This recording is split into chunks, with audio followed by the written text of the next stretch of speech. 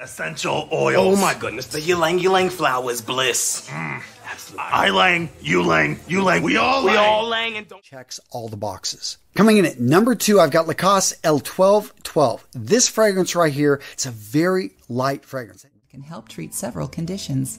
Lang Lang essential oil is considered to be one of the most aphrodisiac oils, along with vanilla, favorite flowers is the Lang Lang flower. For those of you guys that have smelled Lang Lang, I mean, this is like the top, one of the top three favorite smelling. Grapefruit peel oil, you're going to find sweet orange peel oil, and Lang Lang flower oil. If you're not familiar with that, that basically, if you're getting really oily,